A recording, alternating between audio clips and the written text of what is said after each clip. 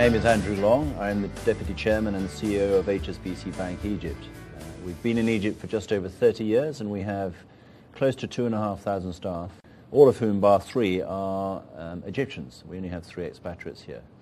Um, our view on Egypt is positive. We recognize there are short-term issues with the economy, with the political process, um, but we've been here a long time and we want to be here for considerably longer.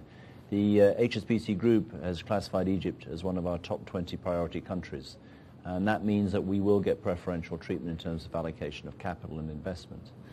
Um, in 2013, we've replaced something like 40% of our ATM fleet. We're still opening branches. By the end of this year, I hope to make an announcement about significant new capital injection for the bank uh, of close to a quarter of our existing capital. Uh, it'll be a very large number indeed.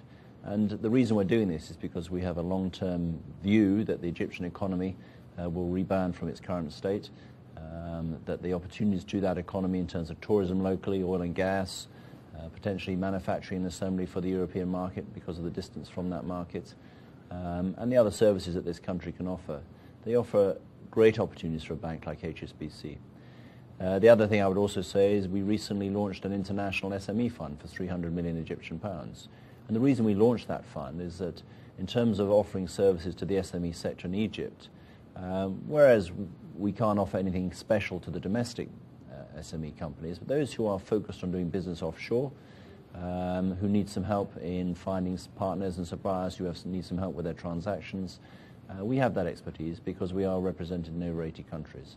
Egypt is a core part of our Middle Eastern franchise. So where we are today, we've, we've got more capital coming in, we're replacing technology, we are upgrading ourselves um, as widely as we can, uh, and we see ourselves as being a bank that Egyptians will want to bank with going forward. We are strong, we're secure, we have great services, uh, and we have a great belief in the future of this country.